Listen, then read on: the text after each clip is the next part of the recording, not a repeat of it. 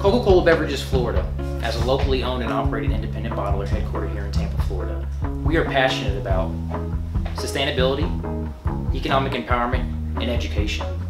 What brings this to life here in Tampa Bay is the opportunity that we have to impact the lives of so many.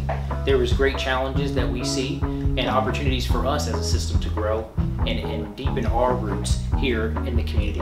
And that is one thing that we are passionate about each and every single day. Uh, a community where uh, we have our associates that live, work, and play.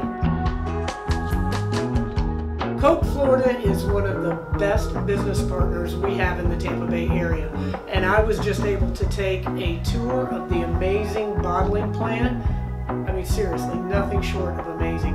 Not only are they doing great things here in the bottling plant, they're doing great things in our community as well. Their recycling program is outstanding, and Coke Florida is the best business partner that we could have. So, very happy to be here. And I also got my little commemorative Coca-Cola, which reminds me of my grandmother when I was young. So, here's for Coke Florida.